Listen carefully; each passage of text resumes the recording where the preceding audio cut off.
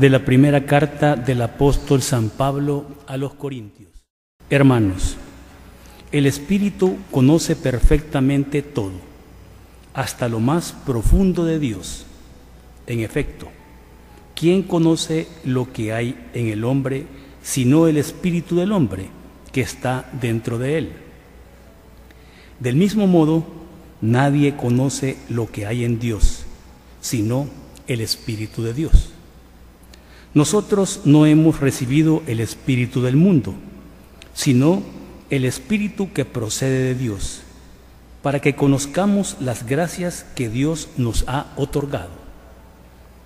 De estas gracias hablamos, no con palabras aprendidas de la sabiduría humana, sino aprendidas del Espíritu, y con las cuales expresamos realidades espirituales en términos espirituales.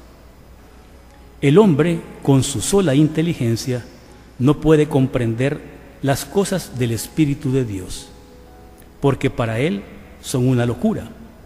No las puede entender, porque son cosas que sólo se comprenden a la luz del Espíritu.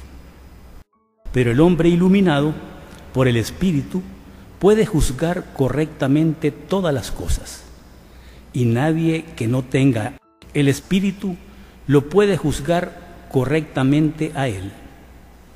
Por eso dice la Escritura, ¿quién ha entendido el modo de pensar del Señor como para que pueda darle lecciones?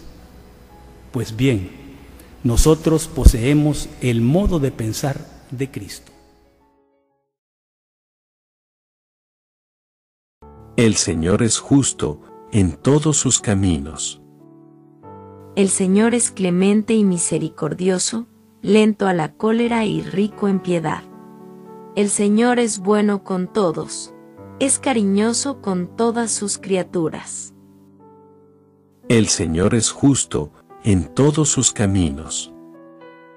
Que todas tus criaturas te den gracias, Señor, que te bendigan tus fieles que proclamen la gloria de tu reinado, que hablen de tus hazañas. El Señor es justo en todos sus caminos.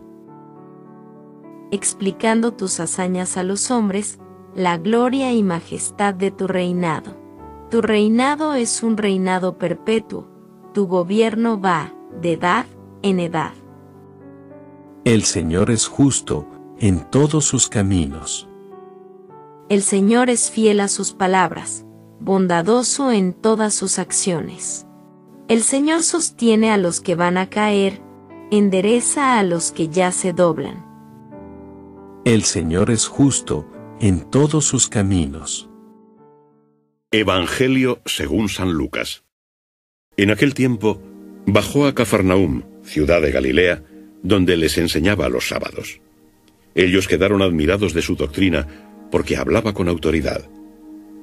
Había en la sinagoga un hombre que tenía el espíritu de un demonio inmundo, el cual se puso a gritar a voces, Déjanos, ¿qué hay entre ti y nosotros, Jesús de Nazaret?